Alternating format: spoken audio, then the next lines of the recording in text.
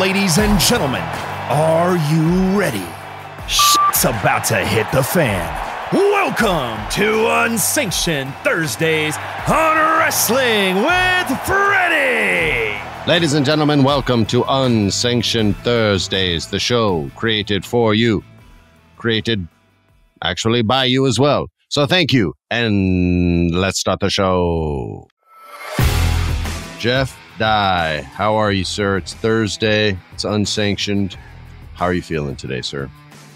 I'm feeling uh, good, but a little torn. The passing of Terry Funk and the passing of Bray Wyatt has been Yeah. heavy on everybody. So besides that, I'm feeling really good. Um, we will get in to the losses that the wrestling community has experienced. Uh, but first, we do want to talk a little bit more AEW. They just broke the record in London, England, Wembley Stadium.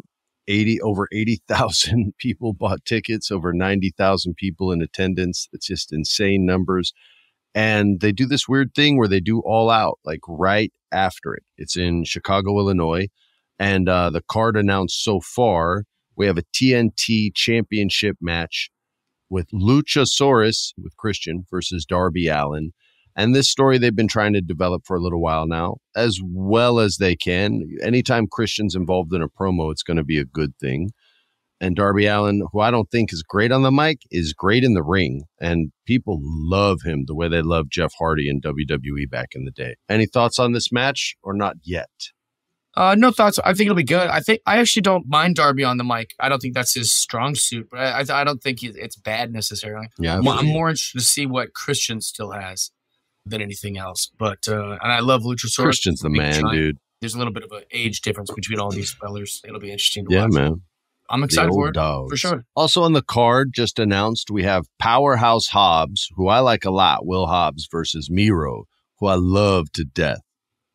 This matchup, if you're not familiar with it, the call out sort of started on their Saturday night show, the AEW's Collision show, with Hobbs talking about how he's had some losses in his career and it's time to turn things around. And the next chapter in the book of Hobbs, he was carrying this Bible, is redemption. And the only redemption out there is the Redeemer, and that's Miro. And he's called Miro out. And uh, they've had some beef back and forth, some ambush tactics, and now they're going to wrestle. Jeff, these are two humongous dudes, as Big E from WWE would say, meaty men slapping meat. I know you're ready for this match. I love both these guys. So Miro was really popular as Rusev for a time. There was a time when he Mhm. was just so over in WWE.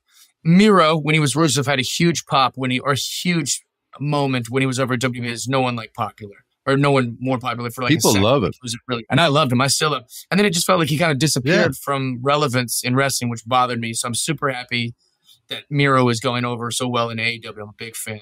Powerhouse Hobbs, I don't know much about, but he's a giant, and you know that I like giants and I like cool, strong dudes, and so I'm excited for this match for for all the obvious Jeff Dye reasons. Yeah, Hobbs is hella buff. I'm only I'm only hip to him because I fell in love with Ricky Starks, and that was like his running mate back uh back in the day. So that's how I got hip to Hobbs. And then he's just sort of been slowly developing with the small opportunities being given, but he hasn't fumbled the ball.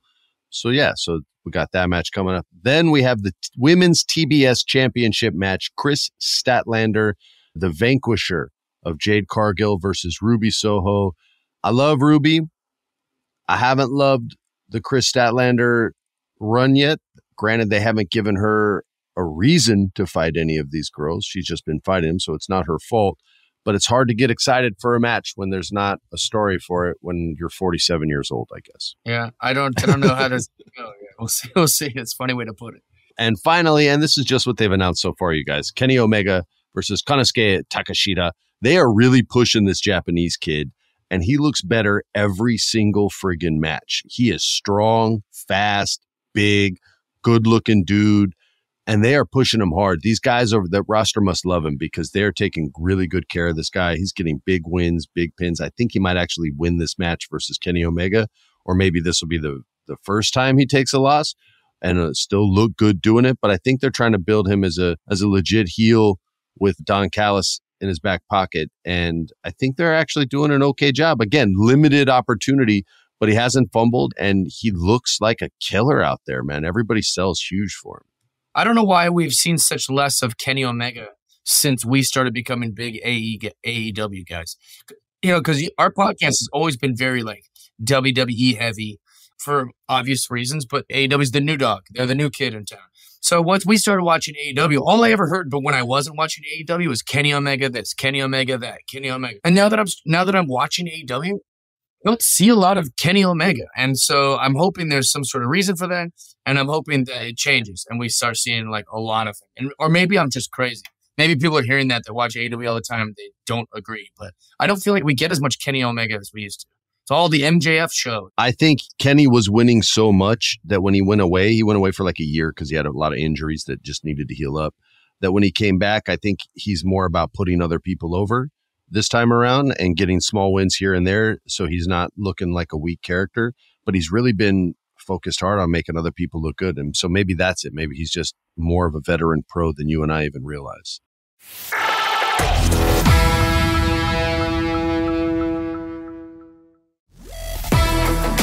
Jeff, let's take a sadder turn. There were two losses Terry Funk, who lived a long life, and Windham Rotunda, known as Bray Wyatt, who lived a short life.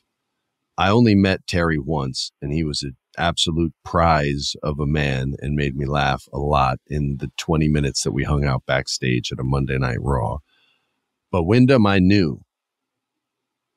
And this one was out of the blue. Another wrestler texted me,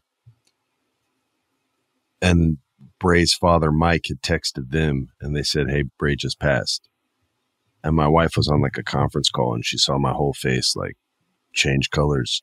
And she was like hey hold on a second. She goes are you okay? And i told her I, will you know i'll be all right. I just have to i gotta go think. And I, I went outside with my dogs and was just like i couldn't even believe it because he's so young. And i don't want to talk about like cause of death or anything because even if it's public that shit's still private to me.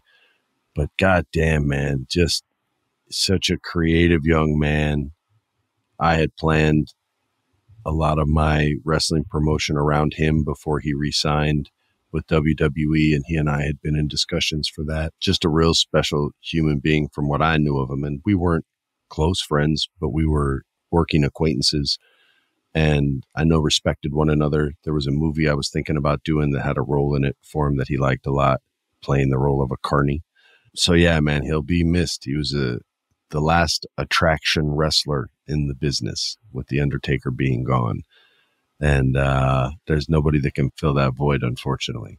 Those are my brief thoughts on Bray Jeff. If you want to take over, I've said on this podcast a million times the best actor that wrestling has ever had. When it comes down to it, wrestling is theater and wrestling is acting and wrestling is storytelling as much as it is wrestling, as much as it is the physical part and Bray had everything, like a classic five tool player. But I think when it comes to storytelling and acting, there's no one, there was no one better. I always give him, Kevin Owens, and as of late, MJF credit for just being like the best storytellers in the ring and the most realistic acting as far as like it's just so good. And um, I was obviously I wasn't friends with him or anything, but I got to meet him a few times. We went to Hollywood Horror Nights together. He would come to the comedy store. Oh, that's so cool. I I remember every moment I've ever spent with him. Because it's it wasn't much, but like I'm such a super fan of him, and he was such a cool guy, and um, so there are special people like that in the world where you, you remember every second that you spent with them because because they're just such memorable and cool people. Like I said, we weren't friends or anything, but it sucks for wrestling, and you guys are wrestling fans who probably never met him, and it just sucks for everybody involved. That we, uh, the world that we live in, the wrestling world we live in, has lost such an awesome. You know, it's the way the world felt when Kobe died. This kind of was my Kobe. Yeah. You know, like it was like it was. It's just kind of hard to believe, even if you never met him or knew him or whatever. It just doesn't seem fair that at 36 we could lose a guy that is just so cool and special. And uh, it, it's very hard to. I don't think. Mo- I don't think most people have even even dealt with it. Like most people are still like it's still hard to believe that a guy with a family. He's young, his young family. So, anyways, from two big wrestling fans of Bray Wyatt, we love you, buddy. And uh, it's it's a terrible and sad thing. It's, it seems unfair, but who knows? We love you. Well said, sir. Bakersfield, California. If you're sad about Bray Wyatt too and you need some laughs, go see Jeff Dye this weekend. Come hang out. Come have a drink. Come have a laugh. I'll be there uh, this weekend. You guys, thank you so much for listening to this show each week. The bonus content only exists because you guys asked for it. And when we gave it to you, guys showed up and showed out. And we appreciate y'all the way that Montez Ford and Angelo Dawkins appreciate Bobby Lashley coming into their life. Thanks for tuning in, and we'll see you guys next Wednesday. On behalf of my awesome co host, Jeff Dye, I'm Freddie Prinze Jr., and this was Unsanctioned Thursdays. This has been a production of iHeart's My Cultura Podcast Network. For more podcasts from iHeartRadio, visit the iHeartRadio app, Apple Podcasts, or wherever you listen to your favorite shows.